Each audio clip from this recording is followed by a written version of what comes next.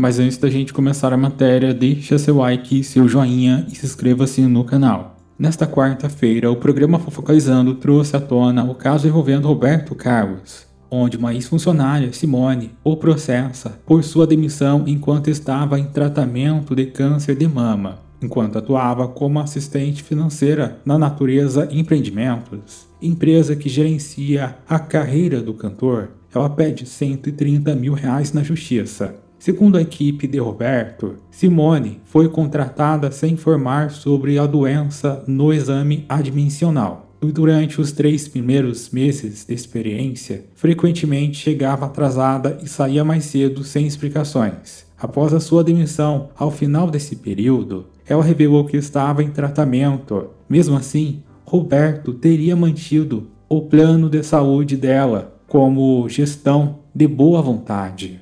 A teoria de Roberto Carlos também afirmou que o plano de saúde segue ativo, sendo pago como todos os demais funcionários, embora Simone negue isso e tenha acionado a justiça.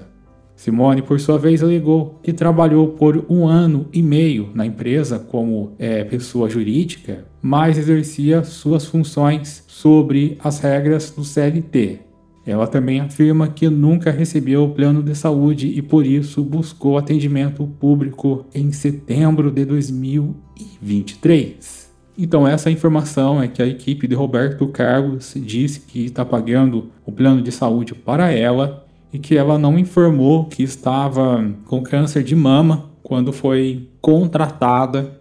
E segundo a equipe de Roberto Carlos, que continua pagando o plano de saúde para ela de boa vontade de Roberto Carlos. Deu um gesto de boa vontade dele ter mantido o plano de saúde dela.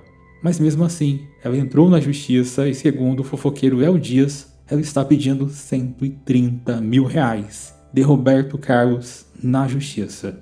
Ela alega que, que trabalhou como pessoa jurídica, mas exercia funções sobre as regras de CLT, e também ela afirma que na justiça também que nunca recebeu um plano de saúde, que buscou um atendimento público em setembro de 2023.